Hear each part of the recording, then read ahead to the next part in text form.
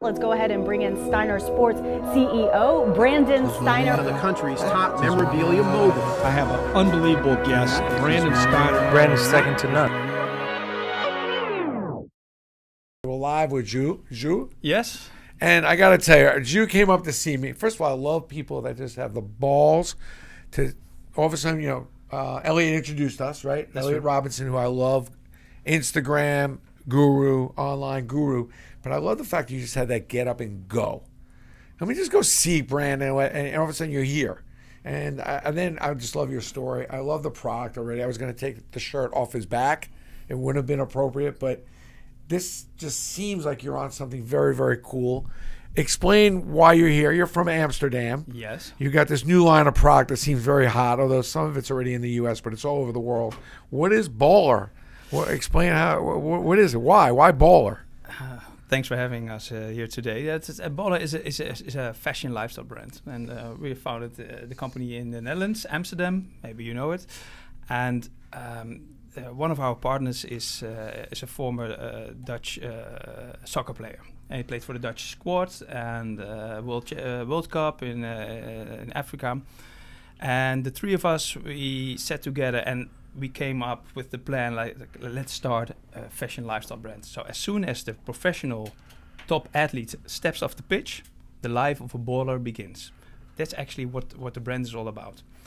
So and so we have we have tees, we have caps, we have sweaters, hoodies, uh, almost everything actually uh, today. But we also have Big investment to get something like that started because you know everybody's got an idea. They want to pop it on a T-shirt. This is more than that. This somebody really thought about this. The quality of the, all your products. Ben, we got to go on bar. Is it bar.com? Yeah, it is BALR.com. We're, I, I'm going on bar.com. I got to buy something here. I mean, I got to see if there's something I can afford. And because it seems like a, this is really good quality stuff, but hard to get started. I mean, you need a lot of money to get something like this started. I mean, did you really start from scratch? We no, we, yeah, we really started from scratch, and and uh, we put uh, our own money behind it. But but yeah, everything, I think, and that's I think what's great is we started really with a couple of tees, with a couple of really great boxing uh, boxes. We have really great boxes uh, when you buy something uh, at our, our website.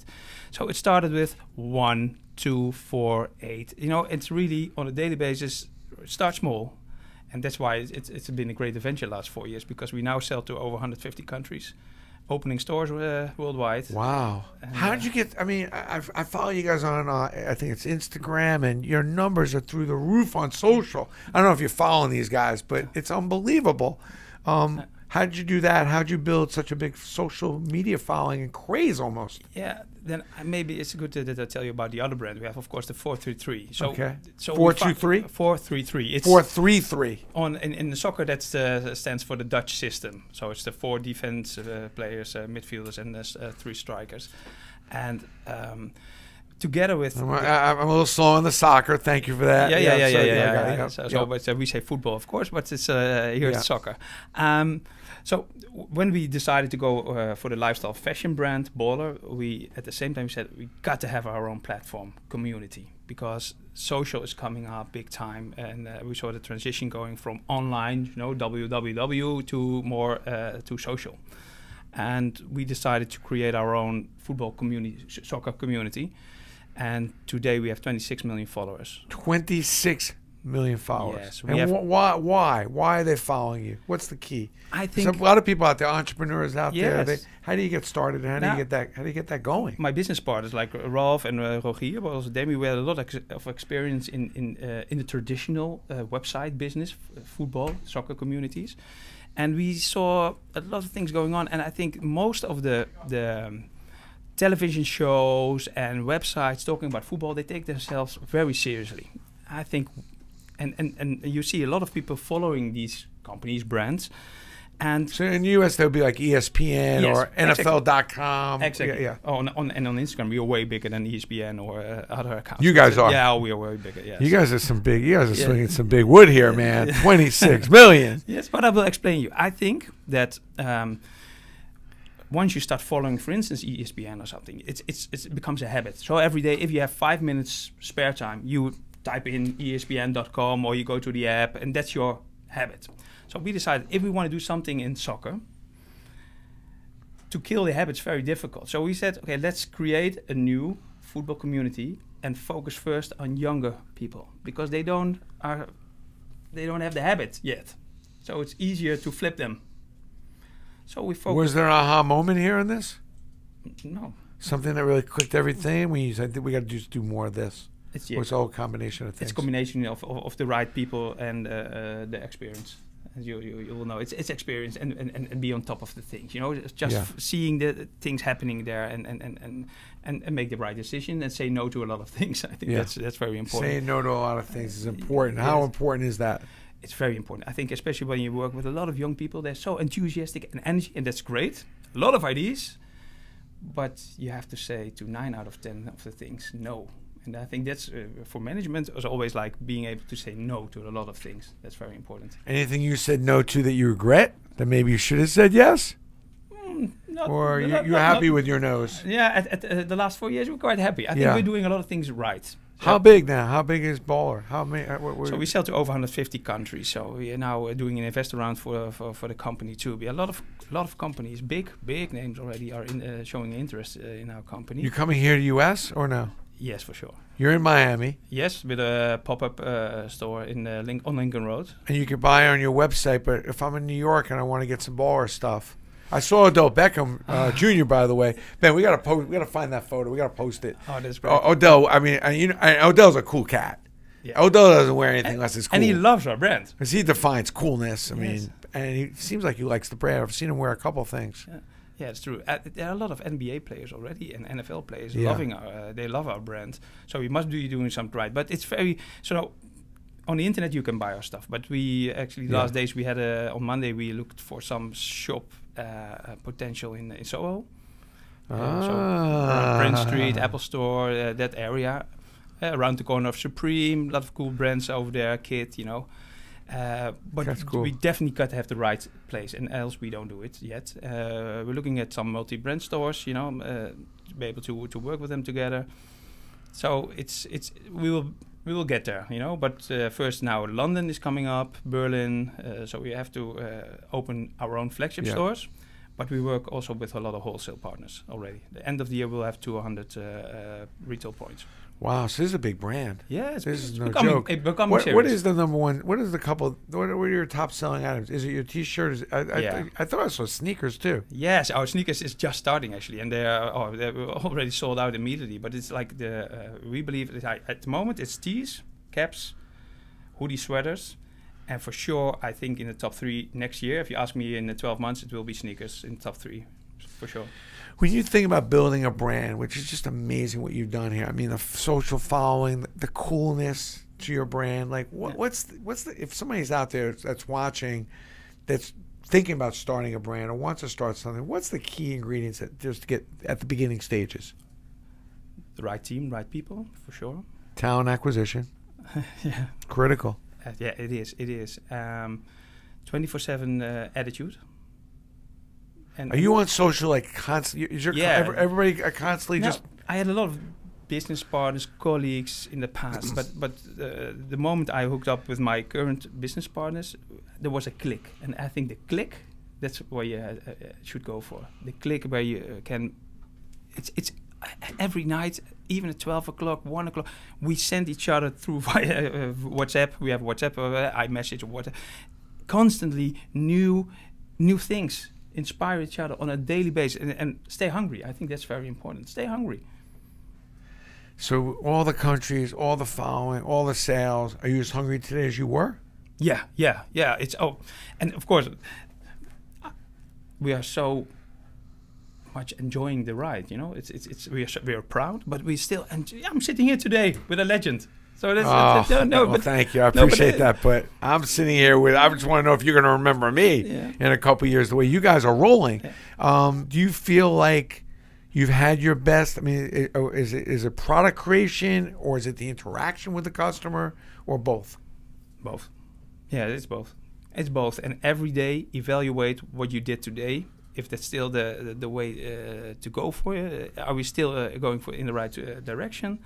Is this what what the world is heading to? Is is this what technology uh, uh, sends us or gives us an opportunity? In only looking only at Instagram or Snapchat, but all the developments going on. Looking at social commerce, what is now they do it better now with Spotify, uh, Shopify, sorry, Shopify and Instagram. So the way we had today is that there will be one-click commerce. So you see something on, on social, you do some storytelling. People, so there's momentum, and people can instantly buy your product or service or whatever. So upcoming year there will be a huge transition. So I think And a game, it's a game things. changer. it's a game. Oh, definitely. Also for your business. There's no question. I'm actually looking forward to that. Yeah. See something, like it, buy it. Don't, don't, don't have to give a lot of thought and cut down the amount of clicks. Yes. I think five years ago we said to each other when the online business started really, it started off really, we said everything should be within the two clicks. And now it's everything should be within one click. Yeah. Yeah, you like this brick? I like it. 1929 in the bullpen of the old Yankees, not in the bullpen, the batting cage of the old Yankee Stadium, we found these bricks. Yeah. You're watching this interview, just two guys talking. You like the brick, click on it, boom, you got it in your house in two days, no problem. So it's instant, Instant. pleasure. Yeah. Tough keeping up on the fashion end of things, or is it more important to say no? You said no. Like no is such an important aspect, and I agree with you. I think that we got lost at Steiner here a little bit. We started trying to do too many things, doing too much instead of staying with what we did best. Is the hard part because everybody wants to now do the belt, now do the socks, now do the shoes, Um, or myself, I'm, I'm more the brand guy. You know, I'm looking more at the, Yeah. the brand direction. I'm not the, the fashion. You know, there we have other people way better in in, in in in the fashion business than I am, and we have the right designers, and we getting uh, getting in more great designers. Not too too many, because if you have too many designers, everyone everybody wants to be creative. Yeah.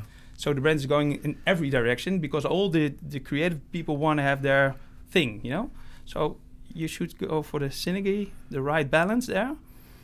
And uh, but of course, when other people are better than you in some things, let them. Yeah. That's it. Hey, if you're wearing BALR or you like BALR, I want to hear from you. Tell me what you think of this product. It's really cool. If you go online, go look at BALR.com. Hit me with some feedback, and then obviously we're going to prize out some stuff, some gift cards, whatever your best comments, and good, bad, and indifferent. I want to hear from it. It's too expensive. It's not expensive enough. Who's the coolest? So please let- let's let's get some feedback, and uh, I'd like to hear you know what's going on. Tell me what you're thinking, because usually we have some pretty upscale customers that like really cool stuff. It kind of goes with the Steiner, but who's the coolest celebrities that are wearing have wearing your stuff that you're like, wow, I can't believe that person's wearing this. To be honest, the moment when uh, Neymar started wearing our, our stuff, that was like, wow, what a mouse! You like, then we made it. You know, it, it's it's it's. Uh, And how does that happen? It's the most like, how do you get a celebrity to wear your stuff? How do you go about it? They ask for it. So Really? one of his best friends, we already uh, had a relationship with. He came to us. He said, "Neymar wants to have some stuff. So can you send some things over?" And we did.